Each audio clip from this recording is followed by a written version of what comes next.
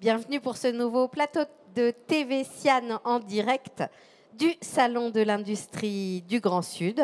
On va parler drone sur euh, ce plateau avec euh, Bastien Mancini, président et cofondateur de Delair. Et j'ajoute que vous êtes aussi président de l'ADIF, euh, l'association du drone de l'industrie française.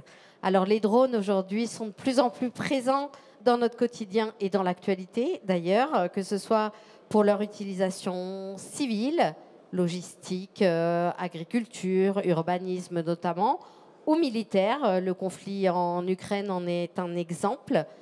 Qu'est-ce qu'un drone? Quels usages? Quels sont les acteurs de cette industrie à l'échelle française, européenne et mondiale? Et comment se positionne la France? Dans cette euh, filière. C'est toute une série de questions qu'on va aborder avec vous, Bastien Mancini. Mais avant cela, un mot sur euh, Delair que vous avez cofondé et que vous présidez. La carte d'identité de Delair aujourd'hui, c'est quoi? Alors bonjour, tout d'abord merci pour votre invitation. Delair, c'est une société créée à Toulouse en 2011 qui conçoit et fabrique des drones pour deux marchés, le marché civil de l'inspection industrielle et le marché de la défense. Euh, on est aujourd'hui 85 euh, personnes et on fait un peu plus de 10 millions de chiffres d'affaires. Voilà, c'est une aventure toulousaine avec euh, une aventure industrielle, partie de rien. quatre cofondateurs qui travaillent dans le pétrole, au CNES, dans le spatial, et puis qui avons monté cette aventure industrielle avec tous les salariés aujourd'hui qui participent et qui permettent de développer ça. On a aujourd'hui une gamme de quatre produits, trois drones aériens et un drone sous-marin. Et combien de drones euh, fabriqués euh, à ce jour? Euh, Quelques milliers. On, a 2 à 3 000 drones en opération dans le monde aujourd'hui, qui sont utilisés par nos clients sur essentiellement les deux marchés que, j'ai cités, donc l'inspection industrielle et la défense. Combien est-ce que vous savez, et est-ce qu'on a une idée finalement du nombre de drones qui sont en circulation aujourd'hui? Alors c'est une question très vaste. Peut-être un premier point, pour ne pas y répondre, c'est que le mot drone euh, décrit à la fois un jouet de 30 grammes et un bombardier de 15 tonnes. Donc, euh, de même que les, Esquimaux ont 30 mots pour décrire la neige, parce qu'ils sont bien exposés à la neige, on devrait sans doute arriver à préciser ce qu'est un drone, parce qu'aujourd'hui, c'est le même mot qui décrit des choses très différentes. Donc, si on parle des jouets, euh, il y en a des centaines de milliers, voire des millions. si on parle des bombardiers de 15 tonnes, il y en a tout au plus quelques dizaines dans le monde. Donc voilà, donc c'est difficile de répondre à, cette question euh, de manière euh, aussi peu précise, mais voilà les ordres de grandeur. Euh, ce qu'on peut dire, c'est que les, les grands constructeurs de drones dans le monde sont des entreprises qui font 3 à 400 millions d'euros de chiffre d'affaires, jusqu'à 2-3 milliards. Il y en a au moins 6 ou 7. Et ce sont des entreprises qui sont américaines, israéliennes, chinoises, turques désormais. Les entreprises européennes euh, qui sont leaders dans le drone aujourd'hui sont plutôt entre 30 et 50 millions de chiffres d'affaires. Donc vous voyez, en Europe, on est assez petit. En France, euh, vous avez Parrot qui fait euh, entre 20 et 30 millions sur les drones. de l'air, on fait un peu plus de 10 millions. Et, voilà. et donc on, reste encore petit à l'échelle mondiale côté français. Alors, pourquoi est-ce qu'on utilise des drones aujourd'hui? Quelles sont finalement les principales applications et les enjeux surtout de leur utilisation? Ils sont très très nombreux. C'est une technologie nouvelle et depuis euh, plus de dix ans qu'on est dans ce métier, on a, on a été euh, sollicité pour un, tas d'usages nouveaux, euh, parfois exotiques, parfois très utiles. on ne peut pas tous les énumérer, mais, mais par exemple sur l'inspection industrielle, les drones remplacent peu à peu les hélicoptères. Aujourd'hui, les lignes électriques sont, sont inspectées par hélicoptère ou, ou, les pipelines en France par avion. ce sont des machines qui pèsent une tonne parce qu'il y a un pilote à porter dedans qui, pèse une centaine de kilos, mais les, capteurs euh, à bord euh, pèsent entre 3 et 10 kilos. Donc, euh, d'un point de vue technologique, dès qu'on arrive à enlever le pilote, on peut faire des machines qui, au lieu de peser une tonne, vont peser plutôt 25-30 kilos, dépenser beaucoup moins d'énergie, donc émettre beaucoup moins de CO2, faire beaucoup moins de bruit. Donc, la tendance pour tous les systèmes d'observation aérienne, ça va être bah, d'enlever le pilote, de faire des machines beaucoup plus frugales. Et donc, typiquement, l'inspection de lignes électriques, euh, on a des drones euh, qui servent dans l'agriculture, euh, à la fois pour de l'observation et donc c'est-à-dire pour permettre de, déterminer la quantité de, pesticides qu'il faut mettre et, plutôt pour en mettre moins. les engrais, pareil. Et puis aussi des, drones agricoles pour faire de l'épandage, donc qui vont pour le coup répandre des, produits sur, les champs, mais en dosant les, choses de manière précise pour mettre le moins possible d'intrants. Après, vous avez des drones qui servent dans les mines et les carrières, et plus généralement dans l'inspection pour tout ce qui sert à faire des jumeaux numériques.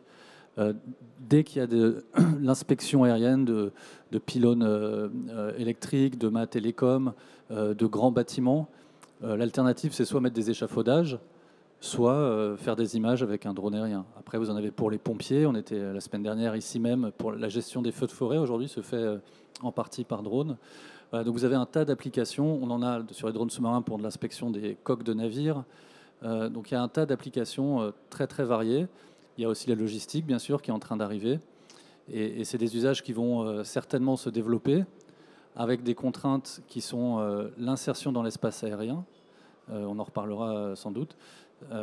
Et, donc, il y a une certaine cinétique qui, va prendre encore quelques années. Mais sur le fond, il va de soi que faire des machines aériennes d'observation sans pilote, ça présente beaucoup d'avantages. Et donc, je pense que ça va être la tendance. Donc on est toujours sur une filière en plein développement. Oui, c'est une filière qui est en, plein développement. Euh, on pourrait dire qu'il y a, il y a 10 ans, euh, vous savez, dans les nouvelles technologies, il y a, des cycles assez connus où la technologie est toute nouvelle et fait rêver beaucoup de monde et il y a beaucoup de d'expectatives euh, autour de cette technologie. Puis les gens se rendent compte que finalement, bah, ça ne fait pas tout ce qu'on espérait que ça ferait. Donc il y a une espèce de désenchantement. Et, puis ensuite, il y a une croissance euh, plus molle que ce qui était initialement euh, prévu, mais, qui est réelle. Et sur les drones, je pense qu'on est dans cette phase-là de cette technologie, c'est-à-dire qu'il y a beaucoup d'usages où les gens se rendent compte que ça apporte réellement quelque chose. Euh, je donne un exemple, mais sur la gestion des lignes électriques, par exemple, de mieux observer ces lignes électriques, ça permet pour certains clients d'économiser jusqu'à un million de dollars à l'export, un million de dollars par mois, parce qu'ils observent mieux et gèrent mieux leurs infrastructures électriques.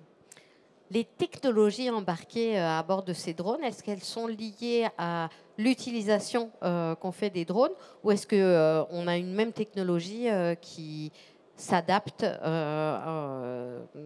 et qui est embarquée, quel que soit le, type de drone Alors il y a des technologies qui sont assez différentes, mais en tout cas notre vision côté de l'air, c'est qu'il y a un certain nombre de technologies qui sont euh, transférable, transposable d'un type de drone à un autre, avec une mutualisation d'un certain nombre de briques technologiques. Les drones aujourd'hui sont plus en soi ce qu'on pourrait appeler une innovation, vous en avez partout, euh, des drones. En revanche, les briques technologiques à l'intérieur de drones, là, il y a de, grands sujets d'innovation, que ce soit sur les sources d'énergie, avec par exemple de l'hydrogène, sur les modes de propulsion, euh, sur le traitement des données à bord qui sont faites avec de l'autonomie, de l'intelligence embarquée. Je, répète assez souvent euh, que, par exemple, mais c'est juste un exemple, que les drones d'aujourd'hui sont les avions de demain, euh, parce qu'il n'y a personne à bord. On peut rapidement faire des essais avec des drones qu'on ne peut pas se permettre avec des avions habités, où évidemment il y a tout un tas de sécurité à, mettre en œuvre avant de commencer à faire voler la machine avec quelqu'un dedans. Puisqu'il n'y a personne dans le drone, euh, nous en deux ans on a fait voler un drone à hydrogène.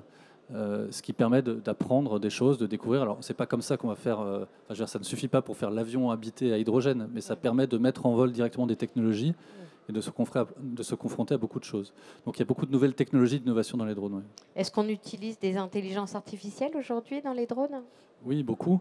Euh, tout dépend des applications, mais typiquement, vous avez un certain nombre de drones de loisirs, ceux qui sont les plus connus du grand public, qui ont des modes dits follow me donc vous avez des gens euh, qui, mettent le drone en l'air euh, et puis ils disent au drone suis-moi et puis ils partent en VTT et ils se filment et le drone les suit. Donc parce que par l'image il les reconnaît et il se centre sur eux.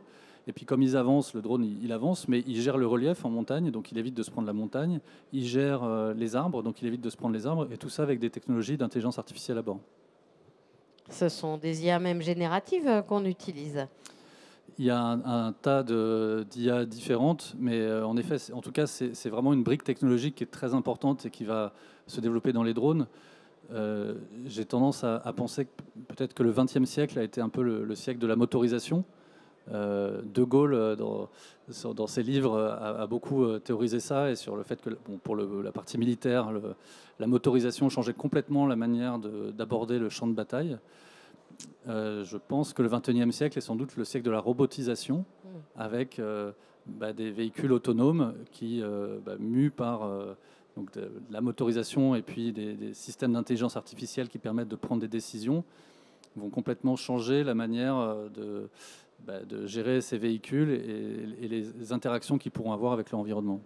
Alors justement, vous l'évoquiez précédemment, où est-ce qu'on en est de la réglementation de ces objets volants tout à fait identifiés?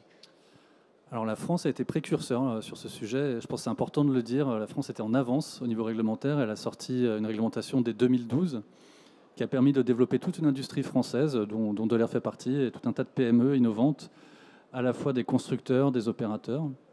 Euh, en 2019, l'Europe a pris le pas sur la réglementation française, ce qui est très bien d'un point de vue commercial, parce que ça donne accès à un marché plus grand. Et euh, la sécurité euh, ne se négocie pas sur ce genre de système. Voilà, si on mm. veut que les drones remplacent les hélicoptères, il faut qu'ils puissent voler au-dessus des villes et s'insérer dans le trafic aérien.